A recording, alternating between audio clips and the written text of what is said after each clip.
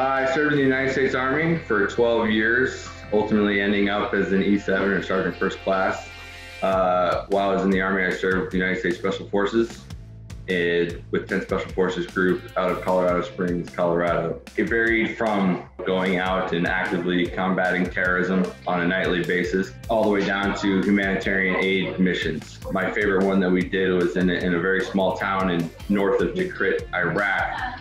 We went into a very small village that didn't have a single paved road.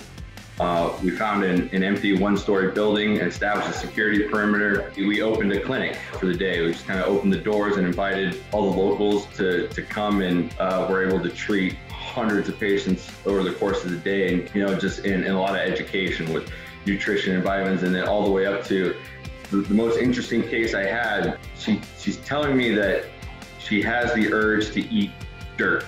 I was like, yeah, I know exactly what that is. It's called pica. You know, she, she's probably pregnant, so we were able to, to get her a lot of support uh, she needed, um, as well as the education. I am so far from a hero. I was just fortunate to have developed a certain set of experiences. It's a matter of sort of demonstrating to my children that, you know, this is how you make the world a better place in, in every way you can. It's through, you know, acts of kindness and giving and support and service, putting their own kind of needs, wants, and desires aside, you know, for the for the benefit of someone else. Um, so I, I, very much appreciate, you know, being identified as the hometown hero. Like I said, I'm just another just another citizen that is able to occasionally lend a hand when needed.